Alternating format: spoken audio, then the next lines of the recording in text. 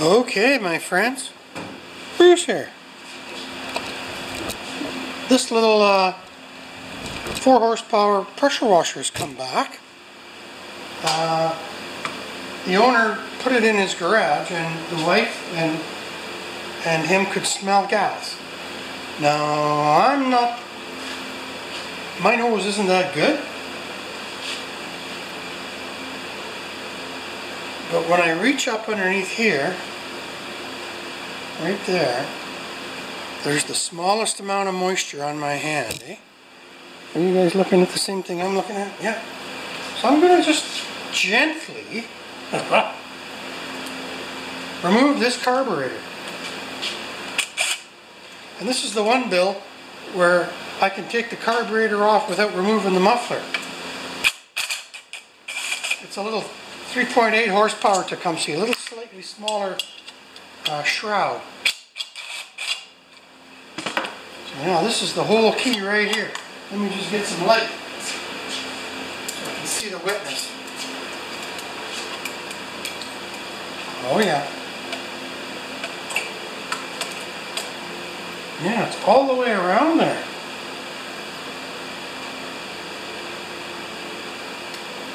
Okay. Let me get a picture of that.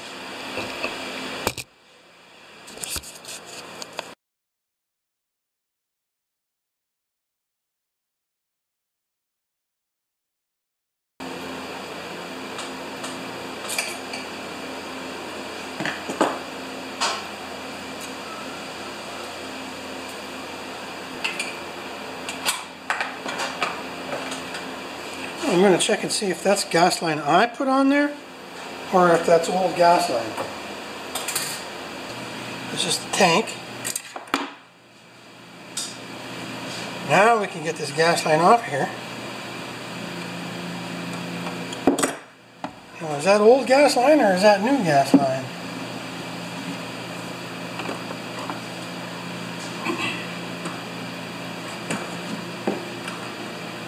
Yeah, that'll work.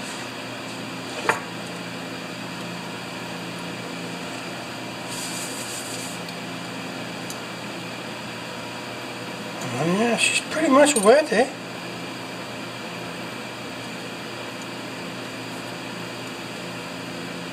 Well, we might as well have a look inside.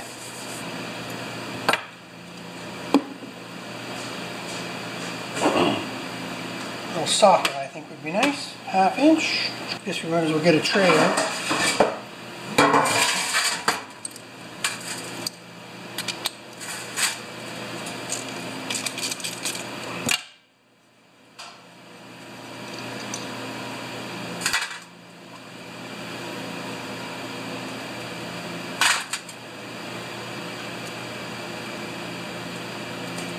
Gas looked old again.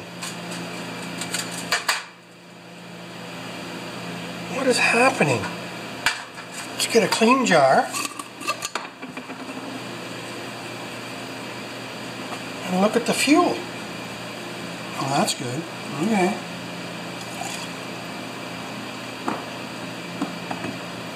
It's good. Fuel looks fine. I'm going to pressure test this.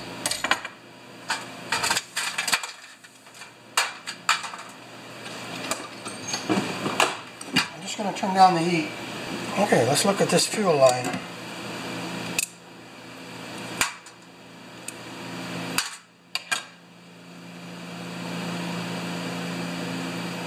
There's no markings on it, eh? Let's just pressure test this old carburetor.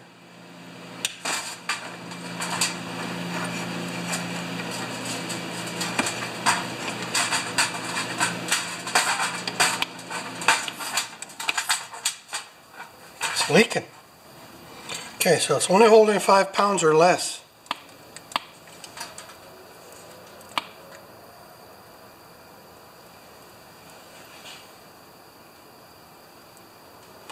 I think I'm going to put a full carb kit in this thing. And I hope, but I want to check. Okay. One step at a time. I'm going to squirt a little bit of bubbles on this connection here. Oh yeah, it's leaking. Gosh, Dick, what do I do with that?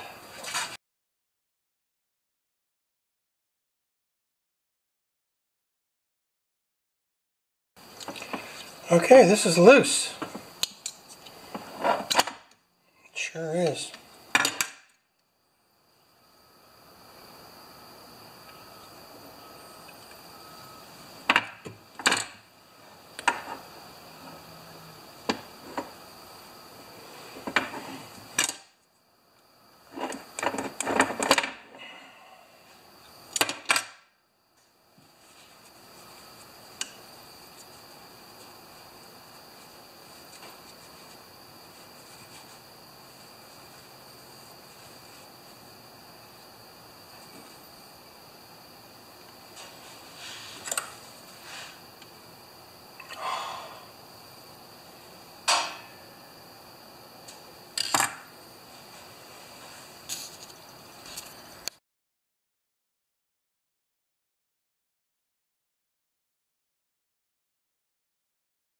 Right, so there's the uh, carburetor with the bowl back on, the brand new inlet that I got off a carburetor that Mick sent me. And it's pressed on nice with my with my uh, big C-clamp. And it's holding five hours, or five, it's holding five pounds in a wild state. Like just laying there. So here we go. I'll uh, bring you down. I want to get a picture of this for my buddy Dick. I've had a fair bit of trouble with this guy, eh? So I'm going to take a picture of the new inlet. Be right back.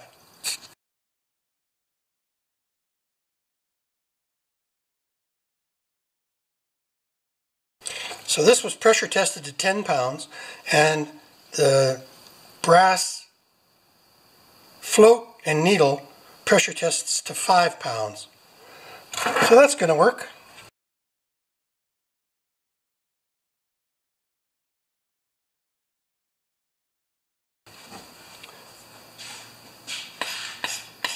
Once again, thank you, Ken, from Ken Small Engine Repair, Mr. Moadall. He's been a good friend to me. So we're going to put this back together again. So I used the old needle, the new seat. I used I put in a new seal even though it wasn't necessary. And then there's our old cracked inlet.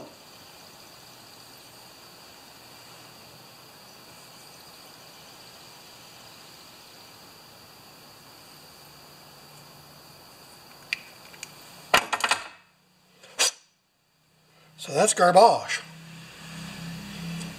Thanks for watching this one, guys. It was fun. Okay, we're back together again. And uh, let's just see if it goes. I'm only going to run it for a little while, so don't worry about that, guys.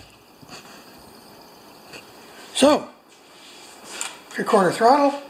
One, two, three, four, five.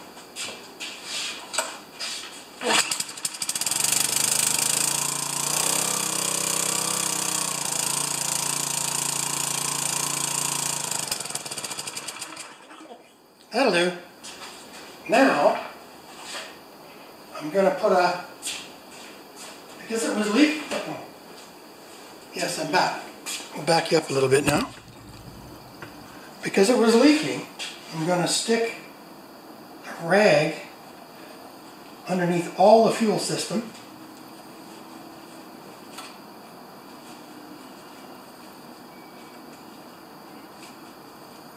I can't,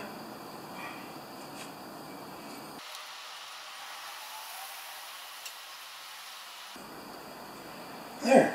If anything drips, if anything drips, I'll know.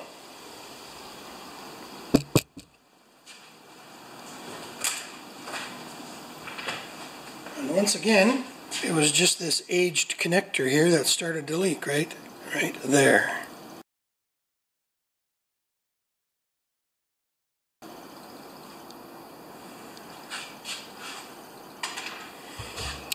Thanks, my friends.